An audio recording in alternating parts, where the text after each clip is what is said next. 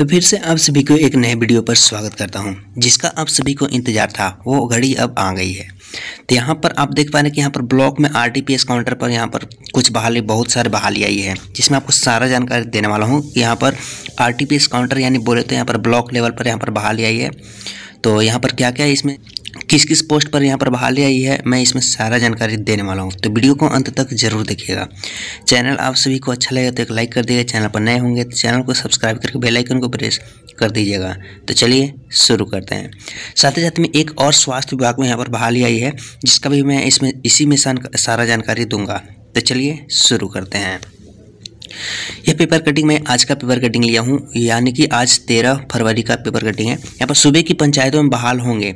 आठ हज़ार सड़सठ कार्यपालिक सहायक। यहाँ पर लिखा गया है कि राज्य के लोगों को अब अपनी पंचायत में ही जाति, आय और आवासीय आचरण प्रमाण पत्र मिल जाएगा। पंचायती राज विभाग शीघ्र ही ग्रामीणों को लोक सेवा केंद्र के ज़रिए पंचायतों में ही सुविधाएँ मुहैया कराएगी।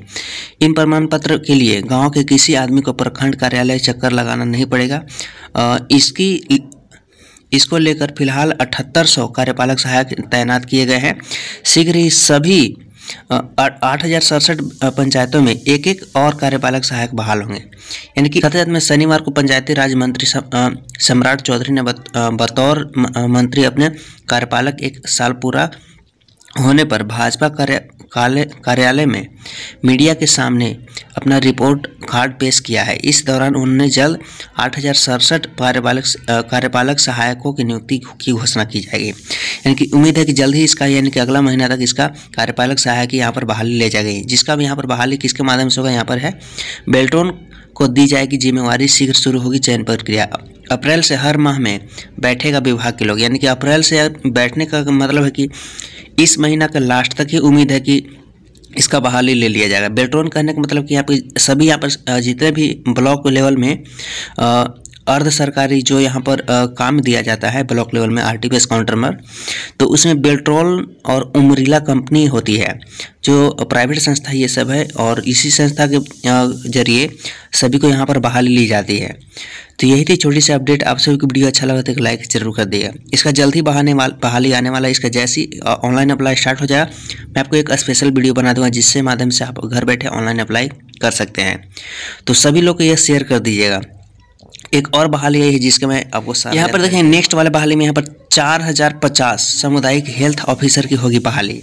यानी हेल्थ ऑफिसर यानी कि आपको हॉस्पिटल के लिए। यहाँ पर बिहार में चार हज़ार पचास सामुदायिक health officer C H O की बहाली होगी। राष्ट्रीय स्वास्थ्य मिशन के तहत इनकी बहाली होनी है। इससे इससे राज्य के ग्रामीण क्षेत्रों में स्वास्थ्य सुविधाएँ को पहुँचाने सहायता मिलेगी। ये ग्रामीण क्षेत्रों में प्राथमिक स्वास्थ्य सुविधाएँ पहुँचाने वाली स्वास्थ्यकर्मियों आशा का नेतृत्व करेंगे, यानी कि आशा के बहाली आने वाली है। स्वास्थ्य विभाग के स्वास्थ्य समिति द्वारा संहिता के आधार पर बहाली की प्रक्रिया शुरू हो गई हो गई है, जिसमें नौ सौ छत्तीस पद अनारक्षित है, जबकि चार सौ निन्यानवे पद अनारक्षित महिलाओं के लिए निर्धारित किए गई है। यहाँ पर लिखा बी एस सी नर्सिंग व जी एन एम योग्यता की होगी बहाली, यानी कि बी एस सी नर्सिंग जो किए होंगे और जो जी एन एम किए होंगे, उनका इसमें बहाली होने वाली है।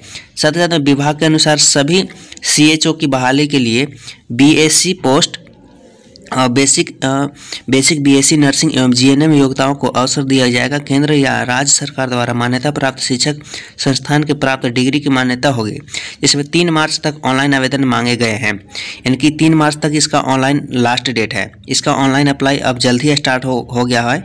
तो मैं आपका इस स्पेशल वीडियो बनाऊँगा, जिसके लिए आप घर बैठे ऑनलाइन अप्लाई कर सकते हैं। जिसको जिसको वीडियो चाहिए कॉमेंट सेक्शन में लिखें।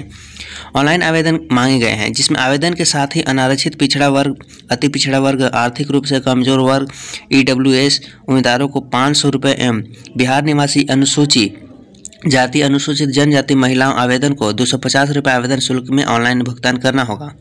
जो सीएचओ के पद पर पहले से कार्यरत हैं, उन्हें पुनः आवेदन करने की ज़रूरत नहीं है। आवेदकों को पद धारण करने के पूर्व डेढ़ लाख रुपए का बॉन्ड पेपर पर एक हज़ार के स्टाफ पेपर पर लिख कर देना होगा। यानी डेढ़ लाख रुपए इनको लगेगा इनको जो यहाँ पर स्टाम्प पेपर के साथ रहेगा। अभ्यर्थी का केंद्रीय या किसी भी राज्य सरकार की नर्सिंग काउंसिलिंग में अस्थायी रूप से निबंधन होना अनिवार्य है। यहाँ पर देखेंगे कि यहाँ पर लिखा गया है राष्ट्रीय स्वास्थ्य मिशन के तहत ही की जाएगी बहाली। BSc nursing BSc post basic PSC nursing एवं जीएनएम योग्यता के होगी मौका, यानी कि जीएनएम जो किए होंगे उन्हीं के लिए है। पच्चीस हज़ार मानसिक मानदेय व पंद्रह हज़ार रुपये इंसेंटिव विभाग के अनुसार सीएचओ के पद पर के लिए चयनित अभ्यर्थी को पच्चीस हज़ार रुपये मासिक मानदेय मिलेगा और साथ ही पंद्रह हज़ार रुपये उपलब्ध आधारित इंसेंटिव में भुगतान किया जाएगा। इंसेंटिव का भुगतान चयनित अभ्यर्थी द्वारा प्राथमिक स्वास्थ्य सुविधाओं को मिल, को आम लोगों तक पहुँचे, पहुँचने के लिए किए कार्यों में उल्लेखनीय उपलब्धि पर किया जाएगा। तो यही थी आप सभी को अपडेट। वीडियो अच्छा लगा तो एक लाइक ज़रूर कर दीजिएगा। इसका अगर आप लोगों को ऑनलाइन अप्लाई करने के लिए अगर वीडियो चाहिए तो आप हमारे कमेंट सेक्शन में ज़रूर लिख देंगे।